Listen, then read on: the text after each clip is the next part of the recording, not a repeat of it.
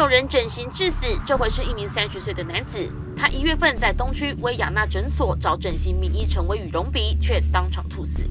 接到诊所柜台小姐来的电话，她只告诉我说：“你弟弟心律不整。”这四个字，心律不整，送往台北马街医院。三分钟之后，我接到台北马街急诊室的医师来电，他说。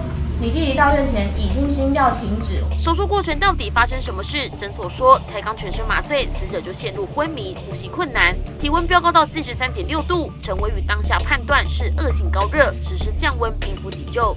家属质疑没有立即送医，才会错失抢救时机。为什么要让我弟弟在这个整间将近一个小时，然后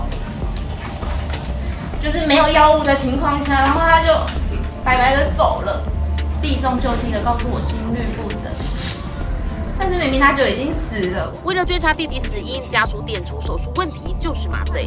陈医师他本身没有具备专业的麻醉医师资格，他们就是请一般民间讲的麻姐麻姐，然后有刀你就来帮我麻醉，没刀你你就是去别间趴看这样子，这样子的态度真的太草率了。陈医师说他们每天都是。